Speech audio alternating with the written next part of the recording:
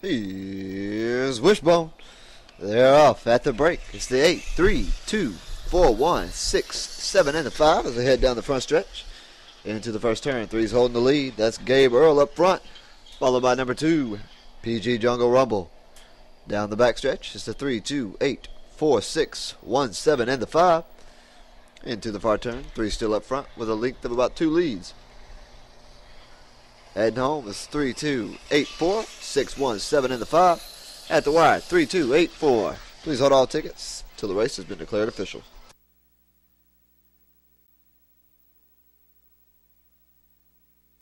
Ladies and gentlemen, the seventh race is now official.